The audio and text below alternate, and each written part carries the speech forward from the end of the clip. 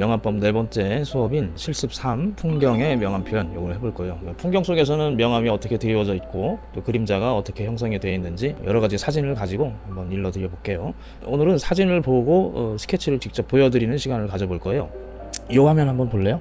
보면 이렇게 숲에서 그림자가 어떻게 생기고 있는지 그런 거 좀 설명드리고 그 다음에 뭐 요런 흔한 거죠. 뭐 호수에 나무들이 많이 있는데 여기에 빛이 어떻게 드리워지고 그늘이 어떻게 생기는가. 이런 건 이제 스케치 직접 보여드리면서 가르쳐 줄 거예요. 자 요거는 이제 바위인데 바위 그릴 때도 어 빛의 영향을 받아요. 이 바위에 보면 쪼개진 틈들도 많고 커다란 그늘도 생기고 하는데 특히 틈 같은 거 어떻게 표현하는지 그것 좀 일러드리려고 그래요. 요거는 이제 하얀 어, 벽인데 뭐 그리스에 이런 건물들이 많이 있겠죠. 중동의 이란? 예, 그런 데도 좀 이런 흙집들이 많은데 그늘들이 얼마나 부드럽게 서로 연결이 돼 있는지 그런 거 좀 일러드려 보고요 화분이거든요 창가에 놓은 화분에 그림자가 어떻게 생기는가? 그런 것 좀 일러드려 볼게요. 자 그럼 요 겨울 산 어, 자 여기서 보시면 자, 그림자의 성질을 잘 보여주고 있죠 여기서. 자 그림자 성질 중에 저번에 배운 거 중에 뭐가 있었죠? 이렇게 표면의 어, 형태를 타고 그림자의 모양이 변해간다고 그랬잖아요. 여기 눈 쌓인 곳 여기 능선이 막 생겨 있죠? 이렇게 이렇게. 그 모양에 따라서 그림자들이 이렇게 변해 있다는 거. 그죠? 이런 특징들을 보고 여기다 그림으로 한번 해볼까요? 여기서 이 흐린 부분도 있고 선명한 부분도 있죠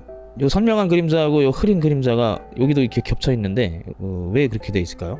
자 여기만 보더라도 그림자가 선명하잖아. 그리고 사이에 있는 거 이런 거 보면 뿌예요. 얘도 좀 뿌옇고 이거 왜 그럴까? 자 나무가 여기 저기 위치가 다 다르죠. 자 그림자는 시작된 부분이 선명하다 그랬죠? 이렇게 보면 그림자가 시작되는 부분이 선명하고 뒤로 멀어지는 부분 그 부분이 흐려지는 거예요. 그죠? 그래서 앞에 있는 나무들, 나무의 그림자. 자, 요 나무 그림자 저 뒤로 이렇게 가고 있는 햇빛이 앞쪽에서 오는 모양이에요. 나무 기둥들을 보면, 그죠? 앞이 좀 밝잖아요. 이런 것도 보면 그렇고. 그래서 여기서 저로 가니까 요 앞에 있는 나무의 그림자는 선명하고, 그럼 여기 흐린 애들은 이쪽에 숨겨져 있는 이쪽에 그 나무의 그림자겠죠. 자, 그런 걸 생각해 보면서 스케치를 해보자고요. 어, 연필은 네, 이비 연필하고 삽비 연필을 오늘 쓸 거예요.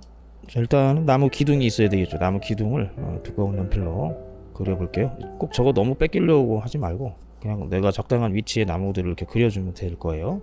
이왕이면 이렇게 좀 투박하게 이렇게 있다고 해볼까요? 한쪽을 이렇게 좀 어둡게 눌러주시고 빛이 오른쪽에서 온다 생각하고 나무의 옹이들도 좀 그려볼 수 있고 뭐 저희가 하고 싶은 나무를 여러분들 나무 안 그려봐서 그냥 하려고 그러면 어렵잖아요. 나무 자료 좀 찾아보고 그 나무의 특징들을 이렇게 조금씩 조금씩 표현해주면 음, 재밌어질 거예요. 자 이쪽도 한쪽을 이렇게 다 눌러서 그늘을 만들어 볼게요. 어, 그리고 이쪽에 뭐 숨겨져 있는 나무들이 있을 수 있고 또 앞에 이렇게 작은 나무가 있을 수도 있다. 이런 가지를 많이 그리면 그만큼 정교한 그림이 될 거예요. 뭐 이런 식으로 나무가 앞에 좀 가려지면서 있을 수 있겠죠. 어? 잘린 건못 봤네. 네. 밑에다 이렇게 그렸는데 이렇게 들고 해볼까요? 그렇죠. 위에는 좀 잘려도 되니까 자, 뒤쪽으로 갑니다. 앞이 좀 선명하고 뒤로 가면서 흐려지는데 여기에 구릉이 살짝 있다고 해요. 어, 여기도 하나 있다고 하고 저기도 하나 또 있다고 하고. 자 이런 식으로. 자 그럴 때 이 그림자가 어떻게 갈 것인가? 자 선의 방향은 자유롭게 해도 돼요. 이렇게 가다가 딱 사라지고 끊겨서 저 뒤로 이어질 수 있다. 그러면서 흐려질 수 있죠? 뿌옇게 퍼져요. 자, 이런 거 찰필 써서 좀 펴 바를 수 있겠죠? 손으로 이렇게 하셔도 되고 휴지로 해도 되고 자, 문지르지 않아도 되고.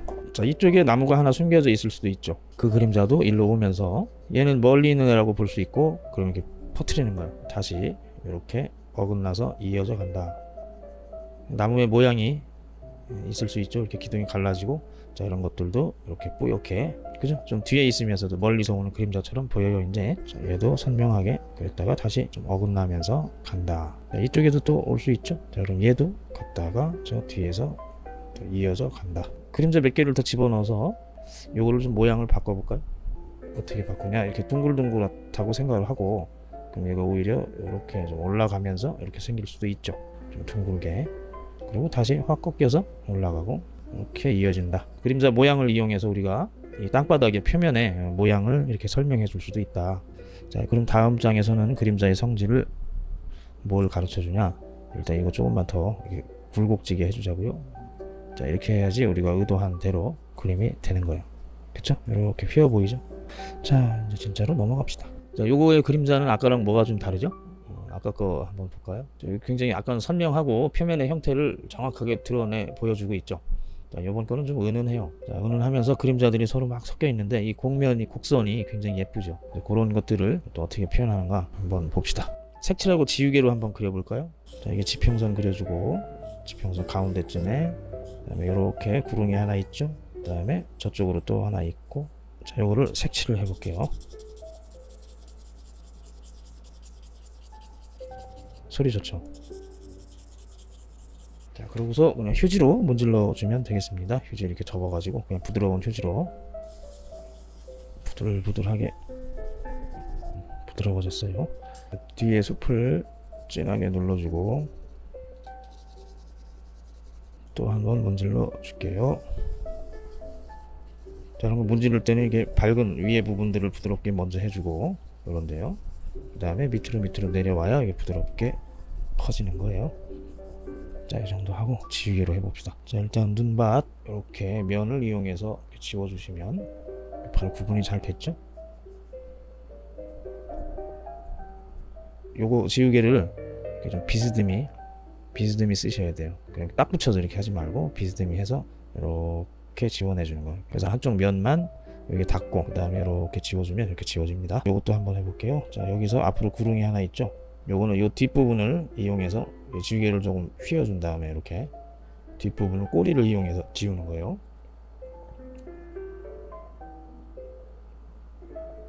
이렇게 조금 더 찌글찌글하게 할 수도 있겠죠. 너무 똑바로 하는 것보다는 이래 더 자연스러운 눈밭이 되겠죠. 자, 이 뒤쪽도 이렇게. 자, 이거 할 때 여러분 조심해야 되는 게 뭐죠? 투시. 자, 뒤쪽으로 좁아진다는 거. 멀어질수록 좁아져요. 소실점이 좀 느껴진다. 그렇게 그리셔야 돼요. 자, 그러고서 빛이 들어오는 바닥에 떨어지는 요 부분들을 조금 더 밝게 지워주시고. 자, 여기서도 보면 요 부분이 조금 더 밝아져 있고, 이 부분이 조금 더 어두워져 있다. 여기 구렁이 또 이렇게 생기죠. 이쪽에서 또 바닥에 빛이 들어와요. 이렇게. 자, 다시 한번 이쪽에 톤을 조금 더 넣어서 조금 더 구름이 진 느낌을 만들어 볼게요. 자, 빛이 왼쪽에서 오니까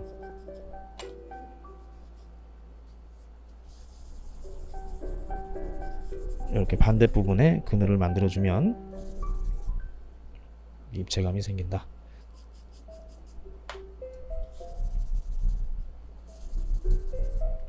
자 그리고서 그림자를 한번 다시 이렇게 어, 지우개로 밝은 데를 찾아서 나머지가 그림자가 되게 한다. 자 이쪽 부분 그림자를 먼저 표현하고 그 다음에 나무를 그려볼까요? 얘가 너무 밝아지면 안 되겠죠?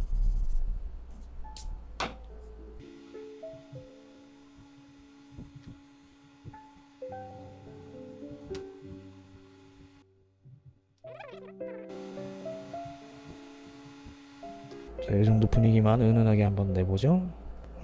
음, 자, 이런 데들을 좀씩 더 진하게 하면 구릉이 좀 더 세게 예, 보일 거예요. 입체감이 잘 들겠죠? 여기다 나무 한번 그려볼까요? 요 사이사이에 그냥 하나씩 이렇게 쭉 뻗어서 그리시면 돼요. 자기가 그리고 싶은 대로 그리고 싶은 개수만큼 그리세요.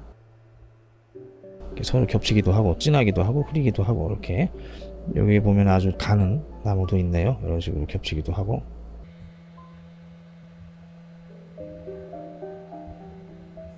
얘를 따로 또 뭐 이렇게 만들어 줄 수도 있겠어요. 이렇게 뭐. 자, 그림자 놀이를 아, 요 정도로 해보고. 자, 다음 그림자도 또 하나 설명해 드릴게요. 다른 그림자는 설명만 들어도 되겠습니다. 자, 여기서 뭘 설명하려고 하는 거냐면, 요 그림자 투시를 맞춰야 된다는 거예요. 이렇게. 자, 여기 지평선 뭐 여기 정도라고 치고, 그 위에 소실점이 있을 텐데, 그림자가 다 이렇게 이어보면 가서 만나는 곳이 있겠죠? 어디서 만날까? 저기쯤에서 만날 것 같아요. 여기 정도 그죠? 이렇게 자, 그 방향에 맞춰서 그림자를 그려야 한다는 거. 해가 만약에 왼쪽에 떠 있다. 그럼 그림자 어떻게 갈까요? 이쪽으로 가겠죠. 그래도 마찬가지로 이 소실점 통일을 해줘야 되는 거예요. 그림자 할 때 요령이 소실점 통일을 해야 한다. 바닥에서 다시 한번 설명하면 이렇게 자 이렇게 이렇게 가서 저쪽 어딘가에서 다들 만나게 생겼죠. 자 이게 소실점 통일이다. 이걸 꼭 챙겨 주셔야 돼요. 그럼 설명 뭐 하나만 더 드려볼까? 빛이 이렇게 바로 뒤에서 오는 게 아니고 빛이 옆에서 온다면 어떻게 될까요? 자 이렇게 아까처럼 지평선이 있고 해가 저기 떠 있다 그래요. 이쪽에 뭔가가 이렇게 오뚝오뚝 솟아 있어요. 자, 그랬을 때 얘들의 그림자가 어떻게 가야 되는가? 아까 같이 빛이 여기서 왔다. 그러면 얘들은 전부 다 이쪽으로 가는 거죠. 이렇게 소실점 맞춰가지고 거기서부터 이렇게 이렇게 이렇게 여기서 또 이렇게 여기 있다면 또 이렇게 자 그림자가 그래서 느낌이 이런 식으로 자, 시작되는 부분이 지나고 흐려지면서 앞으로 나올 거예요. 그림자 모양도 사실 앞으로 오면서 좀씩 두꺼워지겠죠. 이게 투시를 챙겨서 그리는 방법이다. 자 이거 말고 그럼 빛이 조금 옆으로 옮겨진다면 자 역시 지평선이 있고 거기에 나무들을 막 세워보자고요. 자 이렇게 세워져 있을 때 해가 여기 있다. 그럼 그림자 하나를 먼저 잡아봐요. 아무거나 걔를 가지고 딱 잡아주고 나머지를 또 하나를 거주는데 걔가 이제 소실점을 보여주는 애가 돼요. 두 개 관계가 생겼잖아. 그럼 소실점이 조기로 된다. 자 그럼 거기서부터 통일을 해서 전부 다 그렇게 그려주면 되는 거예요. 겹치는 거면 겹치게 하세요. 그다음에 얘는 어디로 갈까? 이 정도 되지 않을까요? 자 그래서 그림자의 방향을 예, 소실점에 맞춰서 통일을 해주는 게 중요하다는 거예요. 헬리스피 안녕하십니까? 요즘 부산도 엄청 덥죠? 그러면 요 다음 그림자 얘기해 볼게요. 숲의 그림자 표현은 이렇게 세 개로 마무리를 하고요. 다음 거는 이렇게 호수에 있는 나무 어, 얘들은 그림자를 어떻게 해야 되는가? 자 여기서 챙겨봐야 되는 게 덩어리들이 이렇게 하나씩 하나씩 있잖아요. 나무 한 그루 한 그루를 덩어리 하나 하나라고 보면 될 것 같은데 그랬을 때 나무가 그냥 보통은 다 사람들이 이렇게 생겼다고만 생각을 해요. 요 모양. 근데 원래는 이렇게 옆에서 볼 때도 이렇게 동글동글 하겠죠. 입체감이 있는 거라고. 근데 납작하게만 생각해요. 옆에 뭔가 부피가 없을 것처럼 그걸 조심해서 생각해야 돼요. 항상 이렇게 부피가 있다는 거 이렇게. 자 그렇기 때문에 이런 그늘들이 생기는 거예요. 이런 그늘들이. 자, 이런 건 당연히 요거 요거 사이사이에 틈이 되겠죠. 틈. 여기 같은 경우도 다 그래서 덩어리 각 덩어리 나무가 덩어리라 그랬죠. 각 덩어리마다 윗부분이 밝게 되어 있다. 빛이 왼쪽 위에 있는 것 같죠. 해가 한 여기쯤 왼쪽 위에 여기 어디 더 머리 위로 뭐떠 있을 것 같아요. 그래서 밑에 부분과 오른쪽 부분이 그늘이 져 있다. 그리고 그 틈 사이사이도 어둡다. 자 요것을 스케치로 한번 보여드릴게요. 자 이번에도 그냥 삽비연필을 들고 하겠습니다. 자, 밑에 호수의 예, 표면이 한 여기 정도 되고요. 그 위로 뭐 사람들 다니는 길이 있고 자, 큰 나무, 작은 나무 앞에 있는 애들부터 표시를 해볼게요. 이렇게 있고 이렇게 뒤로 겹쳐져 있고 또 이렇게 돼 있네요. 그 다음에 사이사이 또 하나씩 껴 있고 여기 또 하나, 여기 또 하나, 그리고 또 여기 여기도 있고 위에 큰 나무도 하나 있어요. 이러고 맨 뒤에 또 큰 나무 있는데 자 이 정도 예상을 해보고 자, 이 위에다가 어떻게 명암을 넣는가? 자, 일단은 선택을 해야 돼요. 여기 틈 있잖아요. 틈. 이렇게 나무 나무 사이에 그런 틈들을 어, 먼저 그냥 어둠으로 이렇게 표시를 하는 것도 여러분들이 그림을 뭐랄까 잘 구분해 나가는 것도 중요하거든요. 초보자들은 구분하는 게 어려우니까 그랬을 때 도움이 되는 거고 이러지 말고 그냥 어두운 거 나무 그늘 나무에 있는 그늘 있죠. 요 부분 거기랑 틈을 같이 처음에 다 묶어서 칠하고 그 다음에 틈을 좀 더 진하게 만든다. 어, 그게 어, 일반적인 방법이 될 거예요. 또 하나의 방법이 있습니다. 여러분들이 좀더 쉽게 이 나무 숲을 그릴 수 있는 방법이라면 그냥 스케치를 먼저 해보셔도 돼요. 이렇게. 자, 요, 요 나무는 이물 위에 자라 있는 애네요. 네, 나무의 특징을 보고 그것을 스케치로 만들어 보는 거예요. 그랬을 때 이렇게 밑으로 꺾여지면서 그늘이 조금씩 생겨 있다. 어떤 부분은 좀 더 진하게 입체적인 대생을 하던 그냥 스케치를 하던 이런 생각을 하면서 스케치를 해주면 입체감이 좀 더 들 수 있어요. 고호의 스케치가 이런 게 많다고 그랬죠? 네, 이런 식으로 그냥 간단한 선만 거도 입체감이 들 수 있다. 자, 그럼 이 나무도 모양을 한번 이렇게 그려볼까요? 자, 이번에는 좀 특이하게 찰필로 해봅시다. 이게 각각의 나무의 작은 덩어리들이 되겠죠. 나무 가지 끝에 붙어 있는 잎사귀들의 덩어리다. 이렇게 생각을 하고요. 이렇게 따로따로 하나씩 하나씩 그려보는 거예요. 이렇게 하고서 요 사이에 틈이라든지 밑을 향해 있는 이 그늘, 이 나무 덩어리에 밝은 부분과 어두운 부분이 있겠죠. 그래서 그 밝고 어둡고 또는 덩어리 덩어리 사이의 틈 이렇게 생각하시면 돼요.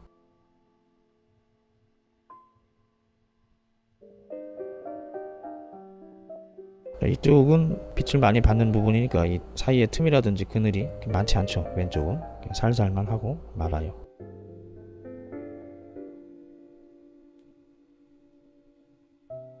자 이렇게 오른쪽 밑에 부분 여기에 그늘이 좀 많이 생겼다. 네, 요것도 작은 나무하고 구분되면서 이쪽에 그늘이 있어요. 이렇게. 네, 나무 구분이 좀 됐죠? 뭐 이걸 다 할 수는 없고 이런 식으로 하는 거다. 그랬을 때 요 옆에 관계만 좀 더 보죠? 자 이렇게 이렇게 해서 틈을 확 눌러버리고 얘도 또 눌러버리면 다시 나무는 밝아지는 거죠.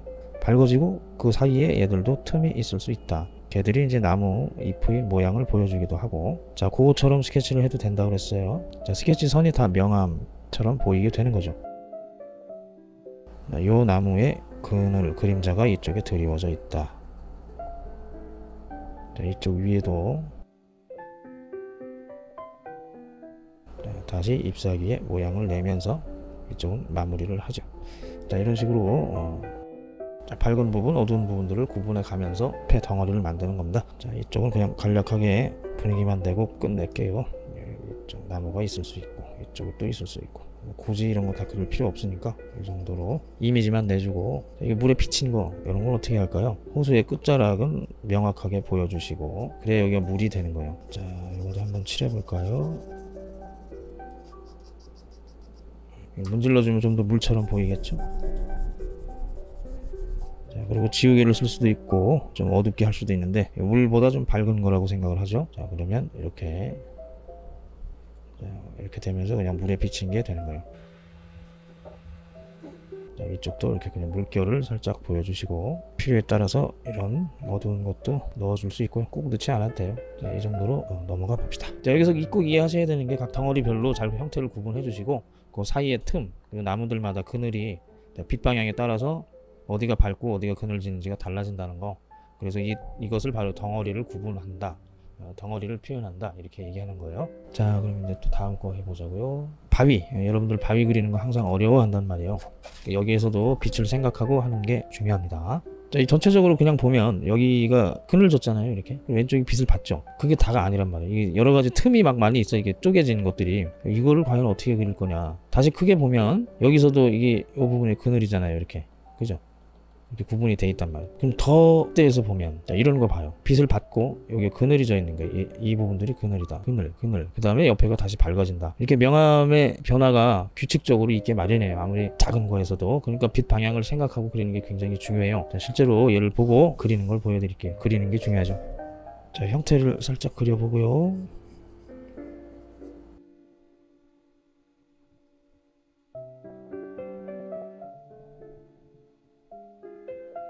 자, 한 부분 부분부터 그냥 해볼게요. 자, 여기 부분 어딘 줄 아시겠죠? 알아야 되는데. 자, 그리고 틈은 이렇게 변화 있게 잡을 때는 확 잡고 어, 그렇지 않은 곳은 또 흐리기도 하고. 잘 보여요. 좋아요. 오케이. 천재적이야. 이런 걸 이렇게 빨리 발견하다니. 잘했습니다. 거기 집 밑에 맞아요. 자, 요거 굉장히 어둠이 나름대로 커요. 자 이런데 보면 이렇게 딱 어둡잖아요. 자 근데 바위에서 중간 톤이라는 게 있을 수 있어요. 이게 하얀 바위가 아니잖아요. 자 그래서 전체적으로 톤이 한번 이렇게 들어갈 수 있는데 사람 그릴 때도 그렇고 하얀 게 아니죠. 하얗지 않은 거는 이렇게 기본적인 밑색들을 색을 칠해야 되면 색을 바르는 거고 연필로 해야 되면 이렇게 연필을 발라 놓으면 돼요. 그러고서 그 옆에 살짝 이렇게 잡아주면 입체감이 생길 수 있는 거예요. 자 이쪽 부분에서도 오늘은 전동지우개 한번 써봅시다 밑에 부분을 이렇게 밝게 해주면 입체감이 생기죠. 자 이런 게 빛 방향을 생각해서 그리는 방법이 되겠어요. 자, 여기도 이렇게 오다가 위쪽으로 역시 중간 톤이 좀 생기게 해주고 연필을 좀 뾰족하게 걷어요. 내가 지금 쓰고 있는 종이는 조금 거친 걸 쓰고 있어요. 자 이쪽에 그늘이 섞이고 여기 밝은 빛이 들어온다. 강조해주면 이 정도로 잘 보이게 할 수도 있어요. 그게 요 밑에 그림자로 이어지면서 이쪽이 계속 그늘로 생겨 있죠. 이렇게 이어지면서. 거기에서 또 틈이 계속 나오고 또 나오고. 자, 이런 원리들을 계속 놓치지 말고 묘사를 진행해 가야 되는 건데 여러분들 생각보다 이걸 놓쳐요 자꾸. 그래서 해놓으면 그냥 무늬처럼만 보이기도 하고 입체로는 보이지 않고 자 여기에서 이쪽 틈만 하고 바위는 또 넘어가겠습니다.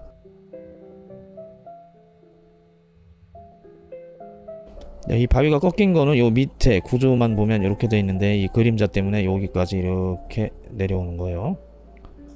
자 이렇게 해서 바위의 그늘 틈을 표현하는 걸 해봤어요. 자 밑에 쪽으로도 뭐 이런 식으로 간단하게만 표시해 볼까요? 이런 식으로 어둠이 이렇게 연결돼 있다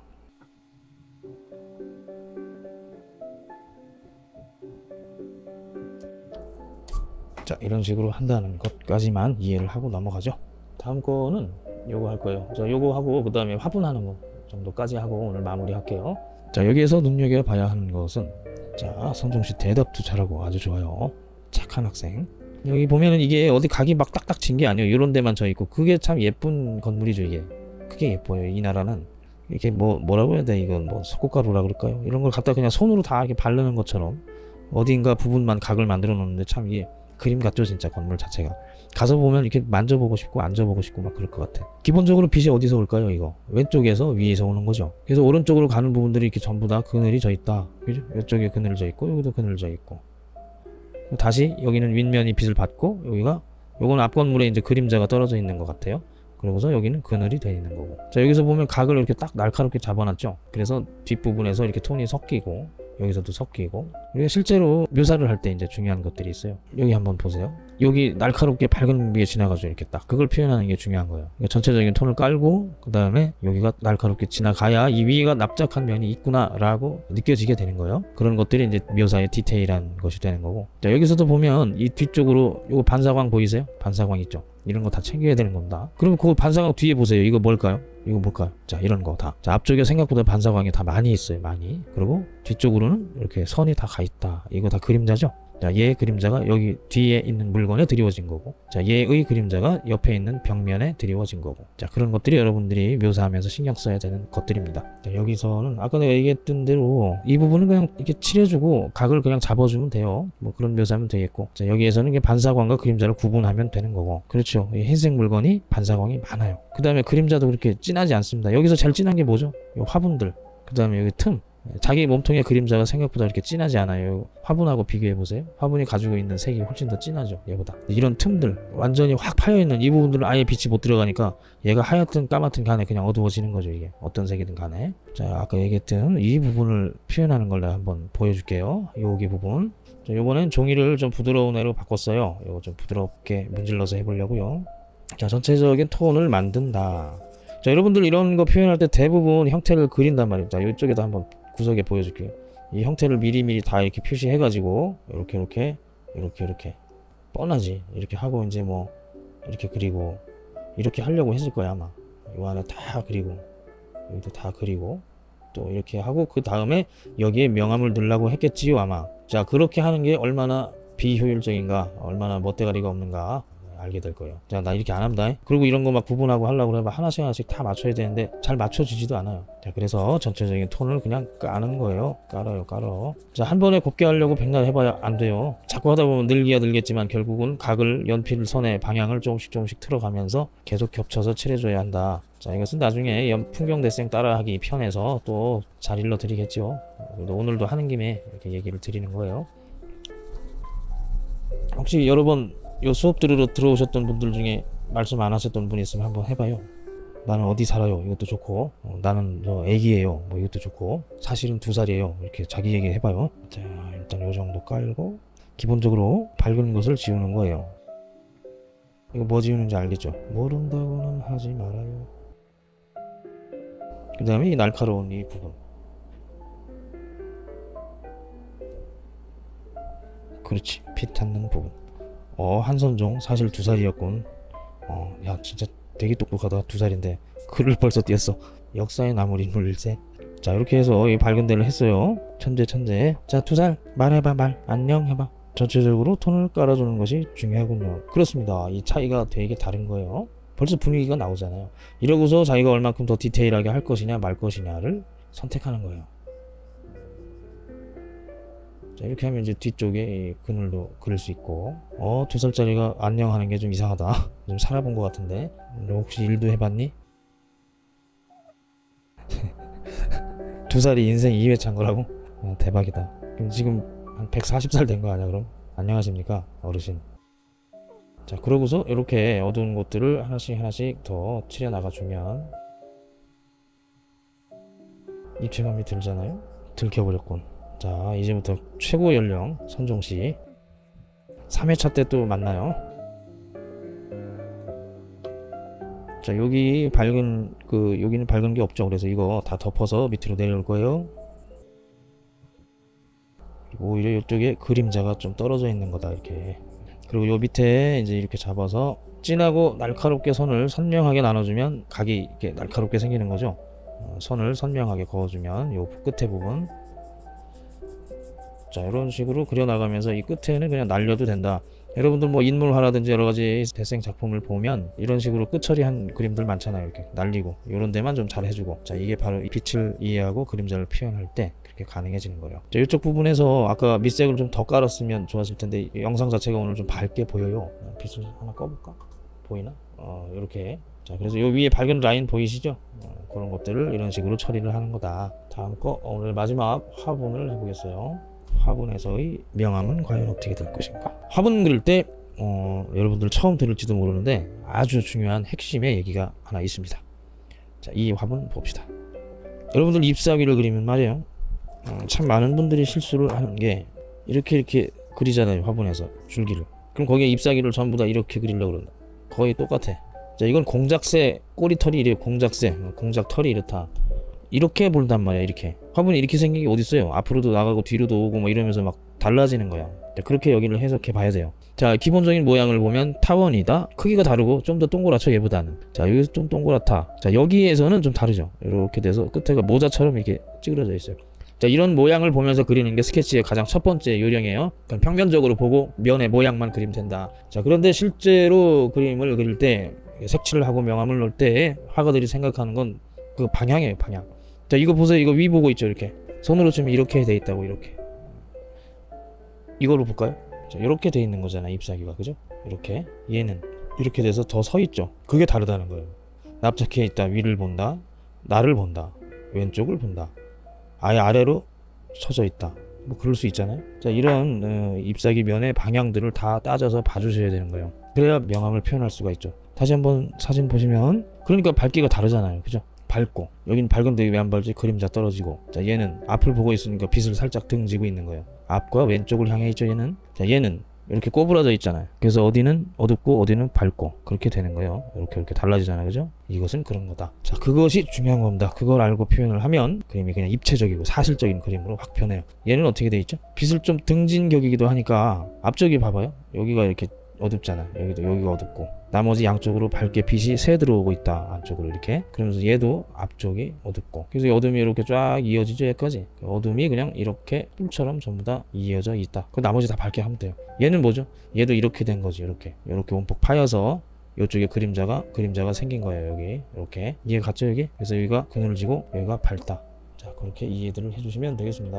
자 이번에는 내가 다시 그림으로 하고 오늘 수업 마무리 해보겠습니다. 음, 화분 그릴 때 면의 모양과 방향을 잘 관찰하여 표현하는 것이 관건이군요. 맞습니다. 면의 모양과 방향. 자 스케치 할 때는 그냥 그 모양만 보셔도 되는데 실제로 화가들 할 때 이런 거 다 한꺼번에 느끼면서 그리는 거예요. 자 여러분들은 주로 방향을 보지 않는 것이다. 그래서 그걸 꼭 챙기셔야 된다 이겁니다. 평소에 방향을 잘 챙기지 않기 때문에 신경을 좀 많이 쓰시라는 거예요 자 화분 안 그리고 그냥 ip사귀만 가지고 먼저 해볼게요. 이거 아까 동그란 거 보자 그랬죠? 이렇게. 야 얘는 위를 보고 있구나. 그리고 밑으로 반쯤 걸쳐서 또 하나가 이렇게 비스듬히 있어요. 얘는 이렇게 ip사귀 끝에가 이렇게 앞에서 보니까 그래요. 이렇게 생겼어요. 자 그 위에 큰 놈이 하나 있어요. 얘는 어떻게 있다 그랬죠? 방향이 살짝 틀어지면서 서 있는 애다. 그러니까 이 잎사귀 끝에 부분들이 다 밝게 빛나고 있죠 아까 그 우리 집 그릴 때는 어 형태 뜨지 말라 그랬는데 여기서는 왜 그러지? 서로 다른 거예요. 이것은 배경과 이 잎사귀가 공간으로 떨어져 있잖아. 그냥 이 배경 공간 위에 뭐 하나 딱 떨어져 있잖아요. 그냥 뚝 떨어져 있다고. 이해 갔어요? 떨어져 있는 거예요. 떨어져 있는. 거. 그러니까 이럴 때 형태 따뜻해요. 아까도 이제 저 벽과 앞쪽이 좀 떨어져 있긴 했는데 그 부분이 이렇게 선명한 차이를 가지지 않으니까 지금은 선명한 차이를 줄 수 있기 때문에 라인을 따도 큰 상관이 없어요. 음, 자 물론 이번에는 그러면은 내가 형태 안 그리고 해볼게요. 바로 그냥 이렇게 칠해도 돼요. 칠하고서 거기서 모양을 조금씩 조금씩 만들어 가면서 자, 이런 식으로 만들어 가도 된다. 여기도 뭐 하나 껴 있는데 아주 납작하죠. 이 끝에 보면 이렇게 확 돌아오고 여기서는 나름대로 이 끝에 모양도 잡혀 있고 여기서도 그냥 납작해요. 여기서 약간 통통하다가 뒤로 이렇게 내려가고 자, 이렇게 생긴 잎사귀가 있어요. 자 얘도 보면 이쪽이 밝죠. 이걸 챙겨야 된다는 거죠. 자 여기서 명암을 한 번씩 넣어 볼게요. 자 얘는 전체적으로 진하다.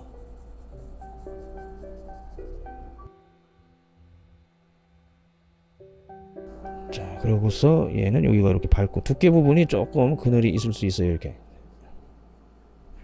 자 얘도 앞쪽 부분이 살짝 톤이 들어가고 완전 하얘지는 않고 이렇게 서 살짝 잡아준다 그리고 가운데 이렇게 파여서 여기 조금 이렇게 그늘이 져 있어요.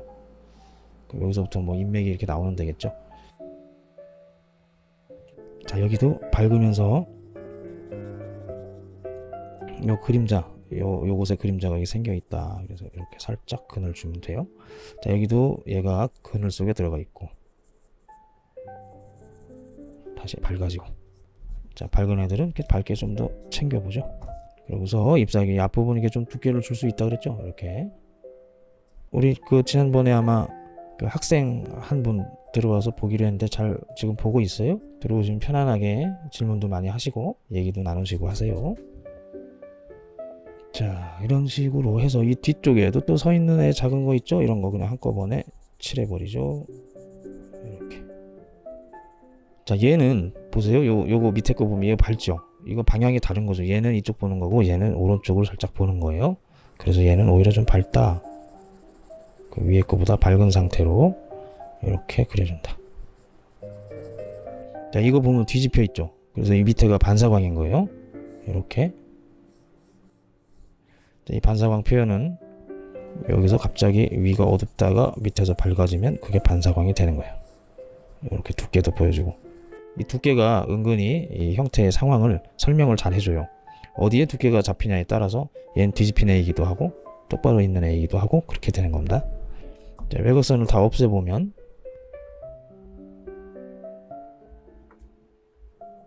필요한 애들만 남기고 완전 밝게 빛나죠? 자 이랬을 때 그 꼭 그럼 이거 어떻게 하냐 그냥 내버려 두고 안 보여주냐? 예안 보여줘도 돼요. 보여주고 싶다면 오히려 나중에 이제 배경을 칠하거나 어, 색을 칠하거나 이렇게 명암을 넣어주면 구분이 되기도 하겠죠. 이게 바로 아까 그리스 집 그릴 때 했던 방법인 거 구분이 가죠. 이렇게도 할 수 있다. 예를 들어 여기에 잎사귀가 그냥 하나 더 있다고 한다면 얘 덕분에 이렇게 그림자가 구분이 잘 되겠죠. 얘도 좀 뒤집혀 있는 애 같은데요. 얘는 모서리에 빛을 받고 있어요. 그러면서 딱 뒤집혀서 그늘이 져 있다. 이제 뭐요 모자처럼 생긴 애도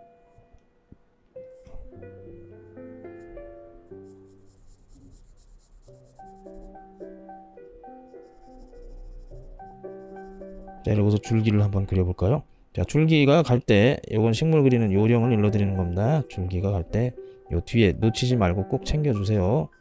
이거 예전엔 기초 단계에서 이 부분을 강조하는 수업을 했는데, 최근에는 제가 기초 때 이 수업을 안 해요. 그래서 최근에 배우신 분들도 이거 잘 모를 거예요. 자, 틈틈이 보이는 거 놓치지 말고 다 해주세요. 그래야지 그림이 어색하지 않고 오히려 풍성해진다.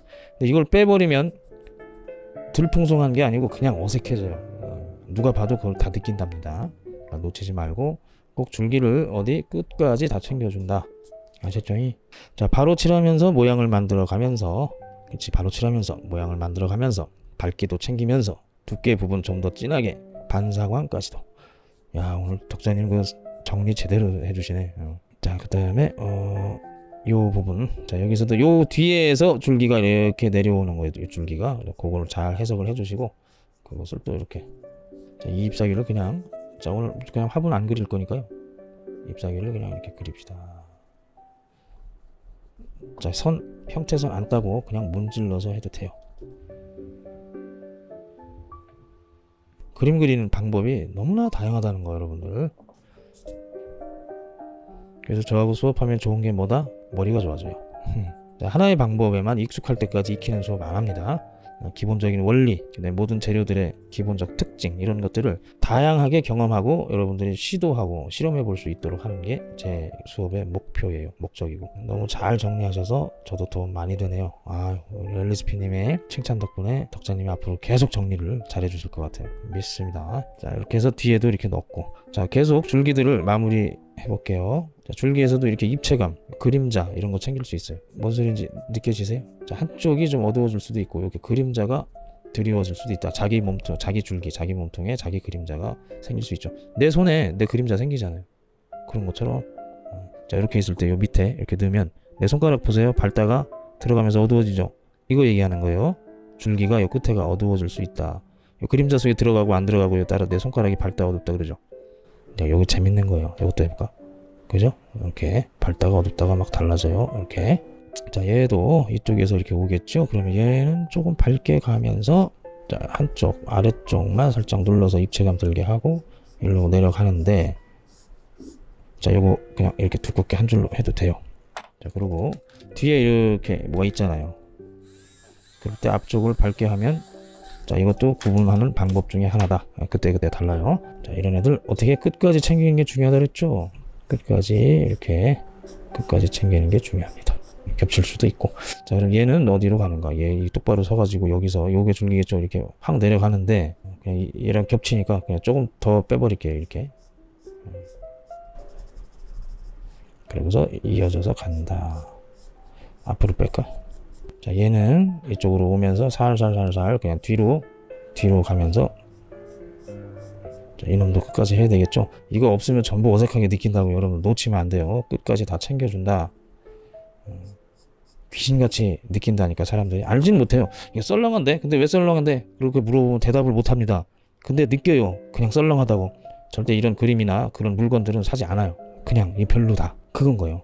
자 그래서 여러분들이 그냥 이 줄기를 하나라도 빼먹으면 분명히 사람들은 어색하게 느낄 거다. 자 여기서 잎사귀 진하고 밝고 그다음에 그림자 떨어지고 줄기 하는 요령까지 배웠어요. 줄기에서도 그림자 밝기를 끝까지 챙기는 것이 중요하다. 그렇습니다. 자 이런 것들을 충분히 연습하고 섭렵해 놨을 때 추상 작품으로 대충 막 그려도 나오는 거예요. 그 사람들이 그냥 대충 하는 게 아닙니다. 대충 그린다는 건 지금 한 장은 그렇게 하는 거지만 그걸 위해서 굉장히 많은 그림들을 그려보고 사물들을 관찰하고 고민하고 궁금해하고 답답해하고 그런 과정들이 한참 겹쳐서 나오는 거예요. 한 터치에 그냥 툭툭 그리는 그림들이 추상화로 발전할 수 있다는 말씀 공감합니다. 그렇죠. 이것이 바로 추상 작품으로 가는 시작점이에요. 뭘 알고 하는 겁니다. 점을 하나 찍어도 왜 그게 그런 제목으로 됐는지를 충분히 미학적으로 설명할 수 있어야 되고 그래요. 줄기끼리 밑둥에서 겹칠 땐 지난 게 앞인가요?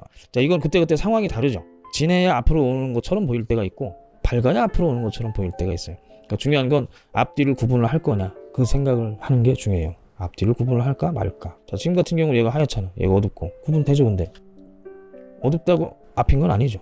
자, 이렇게 하면 이 형태가 이기는 거예요. 얘가 뒤에 가려지니까. 그러니까 진하게 할 거냐 밝게 할 거냐는 그냥 자기 선택의 부분이다. 어떻게 해도 상관없어요. 그런데 앞으로 뒤로 공간을 나눌까 말까를 고민하고 계획하고 그런 것들을 계속 다양하게 표현해야 된다 이거지. 그때그때 상황에 따라 정답입니다. 박수.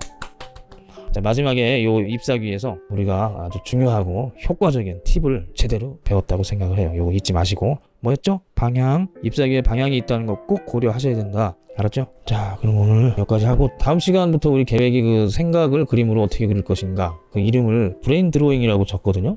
생각하기 뇌 쓰기 뇌로 그림 그리기 뭐 이런 거라고 생각하면 돼요. 내가 그림을 그릴 때 나 그냥 이렇게 턱턱 해서 그냥 내 그림 그리고 싶어. 이게 하나의 목표인 것이고 또 하나는 내 느낌 내 생각을 표현할 수 있어야 돼요. 색깔로든 선으로든 요즘 퍼포먼스로 해도 좋은데 뭐가 됐든 간에 내 감정과 생각을 들여다보고 선택을 하고 그것을 표현하고자 하는 의지가 생겨야 되는 거예요. 그러고 나면 그걸 표현하는 거죠. 어떤 방법으로든. 그런데 꾸준한 연습과 훈련이 필요하단 말이에요. 일단 해봐야 되잖아요. 경험이 생겨야 되는데 첫 경험이 어려워요 여러분들은 그래서 내가 그거를 열어드리는 거예요. 여러 가지 예를 가지고 이런 감정, 저런 감정, 이런 생각, 저런 생각들을 어떻게 그림으로 표현할 것인가 그거에 대한 이야기예요. 그래서 내가 brain drawing이라고 하는 겁니다. Brain drawing 기대되네요. 좋습니다. 자 오늘 공부한 것도 다시 계속 복습하시면서 그림 많이 늘길 바라고요. 고생들 하셨고요. 잘 주무세요.